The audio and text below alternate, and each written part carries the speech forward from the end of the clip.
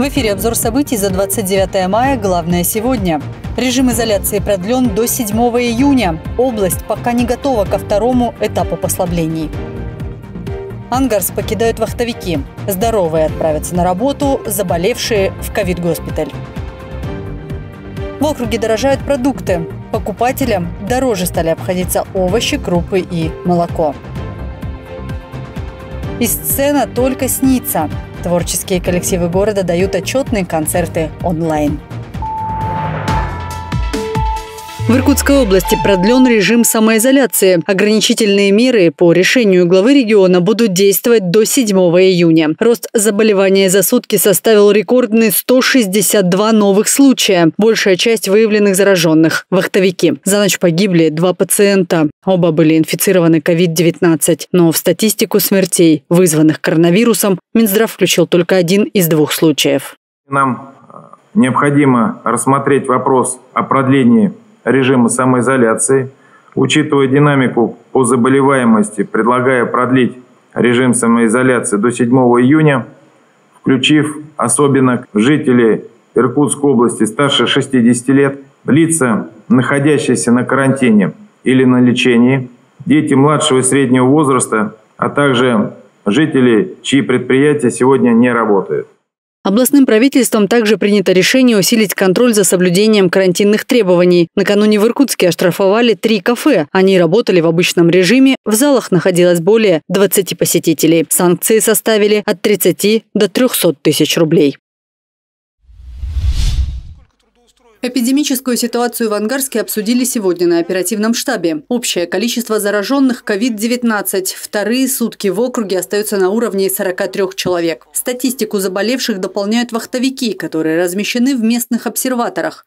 Как доложила заместитель мэра Марина Сасина, 30 мая из Ангарска вывозят последних рабочих, которые проживали в Багульнике. Заболевшие из обсерваторов будут находиться в госпитале. 21 человек у нас находится в терапевтическом отделении, и в хирургическом у нас находится сегодня 67 человек. И именно с пневмониями э, находится у нас 20. Это ковидные пневмонии. И еще у нас находится 8 с пневмониями, которые пока ковид под вопросом. То есть это то, что касается первой городской больницы. Вы знаете, что развернут госпиталь э, в Мано на третьем этаже. Там сегодня, на сегодняшнее утро находятся 20, 55 человек. 55 человек находится там, и у которых, из которых 31 – это ковид с пневмонией. В Ангарске на режиме самоизоляции находятся 350 человек. Ежедневно власти округа встречают поезда и самолеты из разных регионов страны, прибывающих развозят по домам и контролируют их самоизоляцию. Однако, как отметил глава территории Сергей Петров, угроза проникновения коронавируса на территорию по-прежнему высока. Внутреннего распространения у нас пока нету, слава богу, но завозные никуда их не денешь. И всеми путями они пытаются проникнуть на территорию, покидая вахты. Стремление понятно к своим семьям, попасть к себе домой. Но вот оттуда основная угроза проистекает, и как мы видим из э, ситуации последних дней, она абсолютно реалистична. Как доложили на заседании оперативного штаба округа, в Ангарске резко увеличился уровень уличной преступности. По данным полиции, чаще всего преступления совершаются лицами, которые находятся в состоянии алкогольного опьянения. Кроме того, побиты рекорды прошлого года по количеству пьяных водителей. В Ангарском центре занятости населения полностью приостанавливается личный прием граждан. Такое решение принято в связи с увеличением темпа заболеваемости коронавирусной инфекцией. При этом график работы учреждения не изменится. Консультации будут вестись по телефону, а заявления от граждан продолжат принимать в режиме онлайн через портал «Работа в России». Также предусмотрены и альтернативные варианты подачи документов. Есть у нас и такие граждане, и я полагаю, что они будут, у которых нет интернета, у которых нет компьютера. На этот случай у нас на сегодняшний день повешен на входе, если вы обратили внимание, ящичек с приемом заявлений от граждан, куда надо будет положить копия паспорта, копия трудовой книжки, э, документов образования и справка с последнего места работы за последние три месяца. Здесь пакет документов не изменился, кладется, да, и в течение дня специалист мой обязательно должен созвониться с человеком, который положил туда документ. Стоит отметить, что наплыв заявлений от людей, лишившихся работы, продолжает расти. В Ангарске на сегодняшний день пособия по безработице получают более трех тысяч человек. Это примерно в пять раз больше, чем за аналогичный период прошлого года. А тем временем потребители продолжают жаловаться на повышение стоимости продуктов. Накануне Иркутск стат опубликовал отчет по средним потребительским ценам за апрель. Реальная картина, к сожалению, расходится с данными ведомства. Например, цена за килограмм картофеля еще зимой превысила отметку в 29 рублей. Сейчас за кило придется отдать от 70 до 80 рублей. Цена на молоко приближена к реальной. Однако на прилавках зачастую лежат ценники выше 60 рублей за пакет. Средняя цена на мясо тоже оказалась больше заявленной суммы минимум на 30 рублей. Полгода, наверное, с Нового года цены держатся. Единственное, так вот э, рублей на 5 могут антрикоты в том месяце были 285, сейчас они 290. На следующий месяц будут, могут быть 275. На мякоть цена не поднялась 365. Любимая чаша, например, у нас была 49 рублей. Сейчас она стоит 54 рубля. Э, сметана была у нас, например, э, байкальская, была у нас 108 рублей. Сейчас она 138 рублей. Покупатели также отмечают, что самые популярные продукты серьезно выросли в цене. Хотя органы власти планировали сдерживать их стоимость. Платить больше теперь нужно за все – овощи, крупы и молочную продукцию. На молоко немножко увеличилось. Ну, это, ну, наверное, месяца два-три назад. Было 105 покупала белореченская, 3,5, сейчас 108 на 3 копейки, на 3 рубля. Ну, обычно покупаю, что там, ну, картошку, там молоко. Вы вот заметили, так. чтобы эти товары стали внезапно дороже? Заметили. Насколько?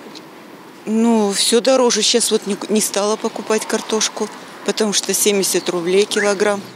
Ну, мясо, конечно, мясо, овощи. Овощи, конечно, стали дорогие очень. А насколько вот вы заметили?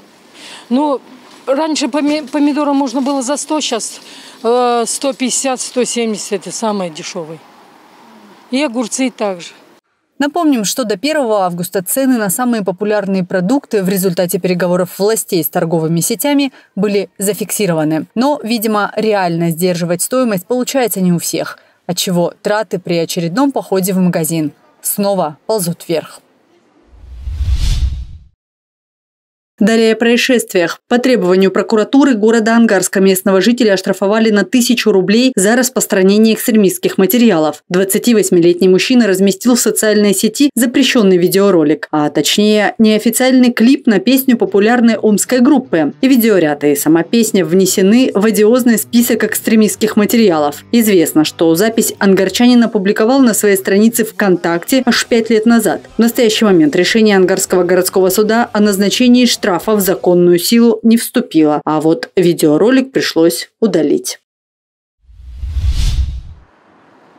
Более 10 нарушителей за два часа. Ангарские инспекторы ГИБДД сегодня вышли на охоту за тонировщиками. Снять пленку нарушителям предлагают на месте или же обратиться в специализированный салон. Но в таком случае автомобиль придется предоставить на осмотр сотрудникам ГИБДД для подтверждения факта отсутствия тонировки. А вот санкции избежать не удастся никому. Каждому водителю придется заплатить штраф в 500 рублей. Хотелось бы напомнить, что светопропускаемость передних боковых стекол, стекол э, и переднего стекла э, должна быть не менее 70%, э, в связи с чем выявляется большое количество нарушений э, на территории города Ангарска.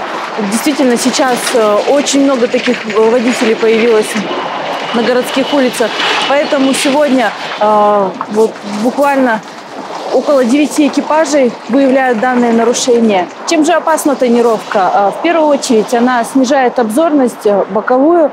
А, в темное время суток, э, в сумерках водители не всегда могут заметить приближающиеся к ним транспортные средства. Подобные рейды в Ангарске будут проводиться регулярно. Как отметили в ГИБДД, часто нарушители после оплаты штрафа снова тонируют автомобили, а в летнее время затемненные стекла особенно популярны. И в заключении выпуска о творчестве. Танцоры из ансамбля «Веснушки» впервые за два месяца собрались вместе. Они репетируют танец, который планировали показать на отчетном концерте. И пусть эпидемическая обстановка не позволила выпускникам станцевать на большой сцене, они продолжили репетиции в надежде, что их работа найдет своего зрителя. Буквально сегодня должен был пройти отчетный наш концерт, где мы должны были выпустить наших любимых выпускников. Они по традиции готовят свой номер собственного сочинения как подарок своим педагогам и своим родителям. Коллектив нашел выход. Ребята записали выступление на видео. Они исполнили русский народный танец. Это одно из излюбленных направлений этого выпуска. Как рассказали Веснушки, подобный формат работы им понравился, хотя и было непросто. Но артисты восприняли это как еще одну возможность поработать вместе.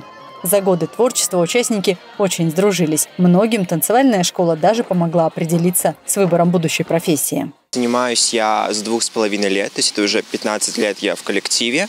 И очень э, рад своему опыту, который у меня сейчас появился благодаря веснушкам. И именно благодаря этому коллективу я понял, что свою жизнь хочу связать с творчеством именно с танцем. Я тоже очень была рада, что мама привела меня именно в этот коллектив, потому что такого радушия, такого приема, а, поддержки я не ощущала нигде.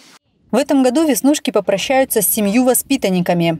Они будут учиться дальше и обязательно прославят любимый город и наверняка еще не раз танцуют на родных сценах Ангарска, а может быть и мира.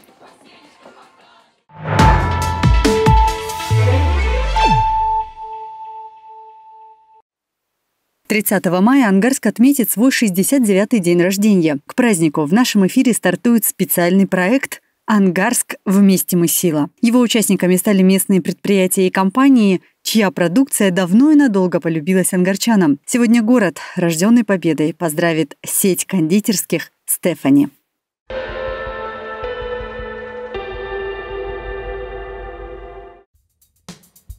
Стефания Изумительный бисквитный торт с кусочками персиков, конфитюром и нежнейшим творожно-сырным кремом визитная карточка фирменных магазинов «Стефани». В ассортименте представлено более 200 наименований продукции, от шикарных тортов и пирогов до миниатюрных пирожных. Кондитерские изделия от сети «Стефани» очень полюбили ангарчане, ведь в производстве используются только натуральные ингредиенты. Во всех магазинах «Стефани» представлена любимая классика в лучших традициях – торты «Зебра», «Наполеон», «Рубленый», «Полет».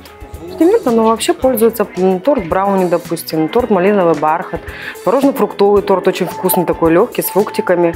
Вообще очень хорошо у нас идут пироги. Пироги они такие, как домашние, начиночки достаточно, и покупатели вечерами, допустим, если не готовить, да, они берут пирожочек и с удовольствием ужинают нашими пирогами рыбный пирог со шпинатом или индейкой и картофелем, а еще с ветчиной и сыром. Всегда свежие, румяные и невероятно вкусные. Пироги от кондитеров Стефани могут стать достойным украшением стола, а в день рождения именинникам предоставляется скидка 10%. Всегда свежее, всегда вкусно и ассортимент огромный.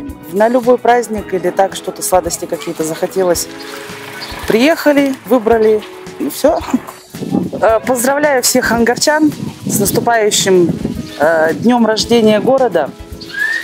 Желаю, чтобы в это непростое время э, здоровья, в общем, всем, позитива, оптимизма и всего самого хорошего. В магазинах Стефани богатый выбор детских тортов, тематическое оформление, герои известных мультфильмов – вызовут восторг у маленьких сладкоежек. Юбилеи, семейные свадебные торжества или корпоративные вечеринки. Кондитеры Стефани готовы разработать эксклюзивный дизайн любой сложности. Фирменные магазины открыты во всех крупных городах Иркутской области – Усоле-Сибирском, Шелихове, Иркутске и Ангарске.